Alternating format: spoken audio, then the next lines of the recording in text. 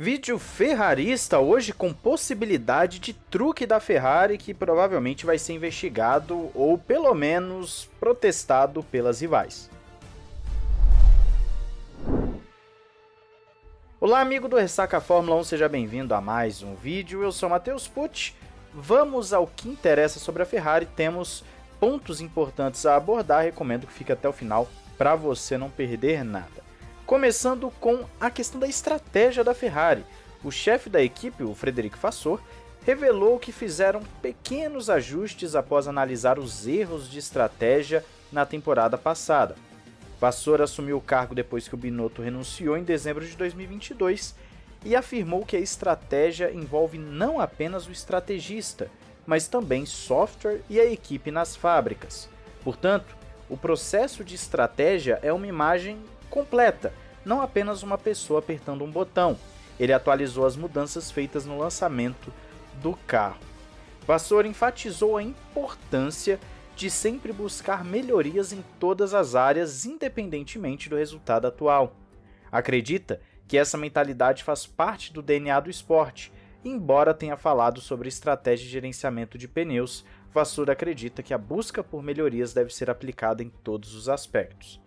Ele acrescentou que, mesmo que a equipe consiga corrigir problemas nas próximas corridas, eles ainda estarão ansiosos para melhorar e fazer um trabalho melhor. Também falou que o campeonato será longo e a equipe precisa ter uma mentalidade de melhoria contínua para manter o foco em todas as áreas. Basicamente, ele defendeu o Iñaki Rueda, que é o chefe da Ferrari de estratégia e que vem sendo muito criticado desde 2015, 16, alguma coisa assim, pelas escolhas bem questionáveis nas estratégias. O Vassour está certo. A equipe de estratégia não se resume ao Rueda. Por outro lado, geralmente o chefe tem sim alguma coisa a ver com isso. Geralmente o cabeça tem alguma coisa a ver com as tomadas de decisões da equipe.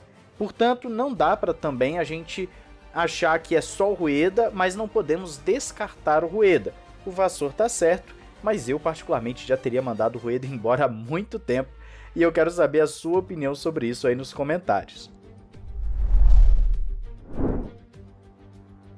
Vamos agora para o principal, que é sobre essa, vamos dizer, artimanha da Ferrari, esse esquema bem bolado deles que, para ser bem sincero, não faço ideia se é legal, se é ilegal, acredito que seja legal, mas com certeza as rivais vão ficar de olho nisso e vão conversar sobre o assunto nos bastidores.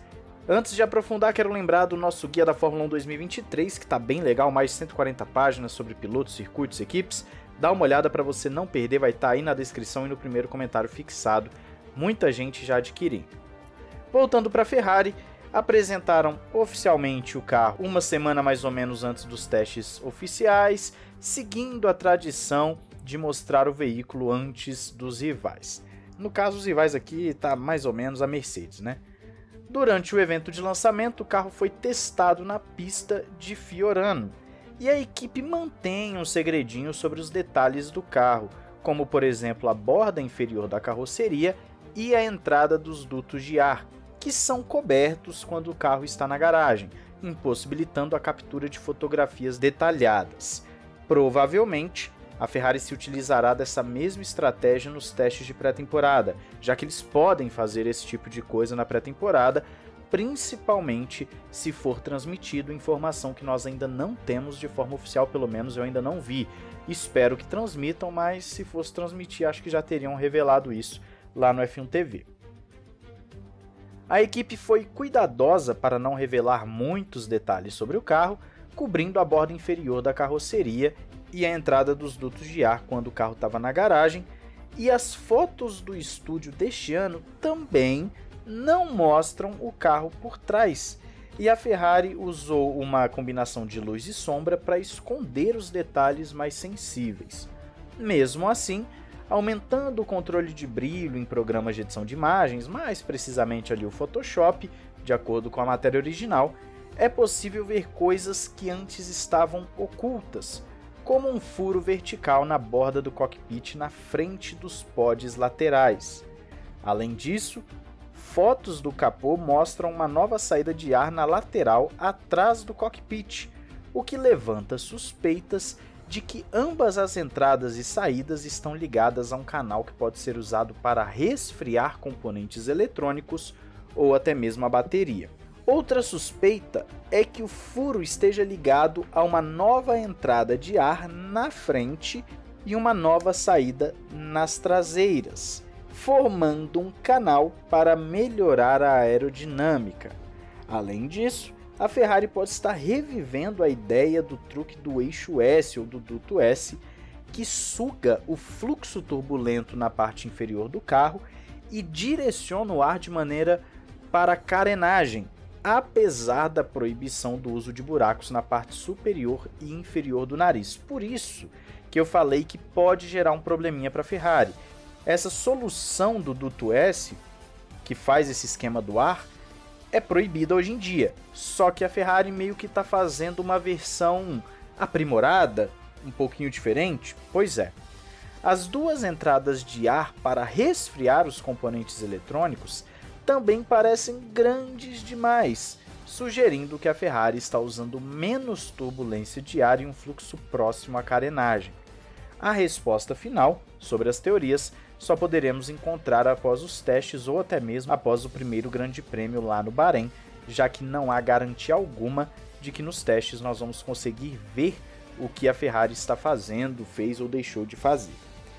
Então é isso. A Ferrari pode estar se utilizando desse esquema para fazer um resfriamento, direcionando o ar, ter ganho aerodinâmico é uma possibilidade também, e existe uma preocupação até mesmo de como esse ar chega para os carros de trás. Afinal, vai gerar uma turbulência, não vai? acredito eu, que FIA e as demais equipes vão olhar para isso com um certo cuidado e, se não conseguirem proibir, vão tentar copiar, que é o normal da Fórmula 1. Né? Se você não copia, você então bane, ou então você tenta banir primeiro e, se não conseguir banir, aí você copia. É o que geralmente acontece na Fórmula 1. Você sempre tenta minar o seu adversário de todas as formas e, se não der certo, você copia o que deu certo, não à toa várias equipes copiando Ferrari Red Bull, principalmente, que foram os dois principais carros do ano passado. Mas é isso. Quero saber a sua opinião aí nos comentários sobre essa solução da Ferrari, me pareceu bem inteligente bem interessante. É algo um pouco diferente do que nós estamos vendo até o momento. E diz aí então o que, que você achou disso tudo. Não esqueça de se inscrever e ativar o sininho para não perder nada do mundo da Fórmula 1. Chegando à corrida, nós teremos novamente os nossos vídeos de análise das corridas, opiniões, abrir espaço para debate de vocês. É isso aí. Um grande abraço, valeu e falou!